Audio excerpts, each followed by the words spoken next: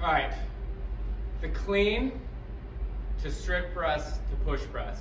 It's going to be one clean, four strict press, and then um, 10 push press for a total of 15. So I'm just gonna go through one set.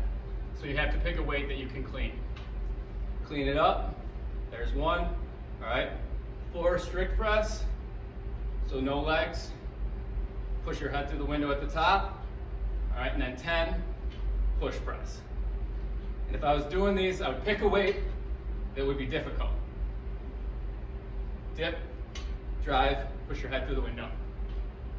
Lock those arms out completely. And I've lost track of how many reps I've done. 10. Sounds good.